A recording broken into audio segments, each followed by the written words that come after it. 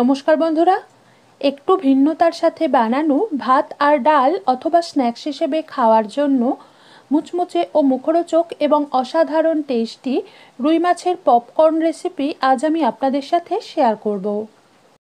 এর জন্য প্রথমেই দুই টেবিল চামচ মুসুর ডাল ভালোভাবে ধুয়ে পরিমাণ মতো জলে 30 মিনিট ভিজিয়ে রেখেছিলাম। তারপর জল ঝরিয়ে নিয়ে একটা কড়াইতে ঢেলে নিলাম। এর মধ্যে অল্প জল দিয়ে মাঝারি আঁচে তিন থেকে চার মিনিট ফুটিয়ে ডালগুলোকে আধ সিদ্ধ করে নেব। এই পর্যায়ে জলের পরিমাণ এমনই দিতে হবে যাতে তিন থেকে চার মিনিট ফুটে ডালগুলো আধ সিদ্ধ হতে হতেই জলটা পুরো শুকিয়ে যায়। খেয়াল রাখতে হবে এই রেসিপির জন্য ডাল যেন পুরোপুরি সিদ্ধ না হয়ে যায়।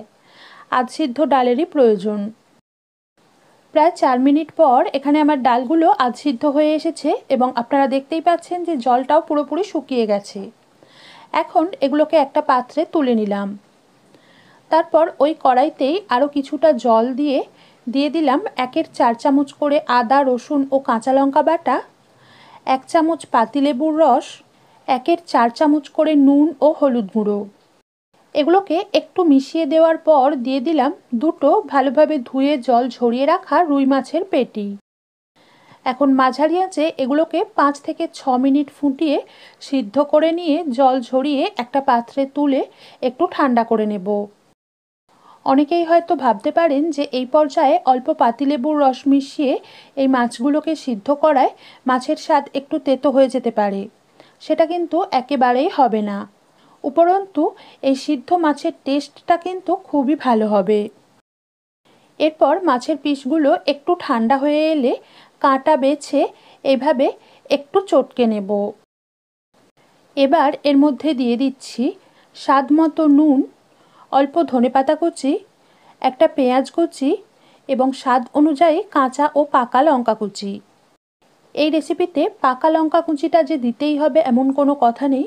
শুধুমাত্র কাঁচা লঙ্কা কুচি দিয়েও বানাতে পারেন। এরই সাথে দিয়ে দিচ্ছি এরকম চামচের এক চামচ আদা, রসুন ও কাঁচা লঙ্কা বাটা, এক চামচ টমেটো কেচাপ এবং হাফ চামচ সয়া সস। এই সয়া সসের পরিমাণ যেন বেশি দিয়ে দেবেন না, একটু কম করেই দিতে হবে। আর দিয়ে দিলাম এক চিমটে করে লঙ্কা ও গোলমরিচ গুঁড়ো, দু চামচ বেসন, এক চামচ চালের গুঁড়ো এবং আধ সিদ্ধ করে রাখা মুসুর ডাল। এতে যে বেসনটা ব্যবহার করেছি, তাতে আমি হাফ চামচ মতো পোস্ত মিশিয়ে রেখেছিলাম, যেটা এই পপকর্নগুলোকে ভেজে তোলার সময়ই আপনারা দেখতে পাবেন। তবে এই রেসিপিতে পোস্ত দেওয়াটাও পুরোই অপশনাল।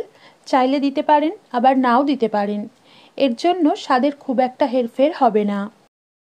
এখন সব উপকরণ মিশিয়ে এইভাবে একটু মেখে নিয়ে এর মধ্যে থেকে খানিকটা মিশ্রণ নিয়ে এইভাবে ছোট ছোট বড়া বা পকোড়া কিংবা পপকর্নের আকারে গরম সর্ষের বা সাদা তেলের মধ্যে ছেড়ে মিডিয়াম ফ্লেমে বা মাঝারি আঁচে রেখে একটু সময় নিয়ে ও ধৈর্য ধরে এগুলোকে উল্টে পাল্টে দু পিঠ লালচে ও মুচমুচে হয়ে আসা পর্যন্ত ভেজে তেল ঝরিয়ে তুলে নিলেই আজকের রেসিপি পরিবেশনের জন্য তৈরি হয়ে যাবে।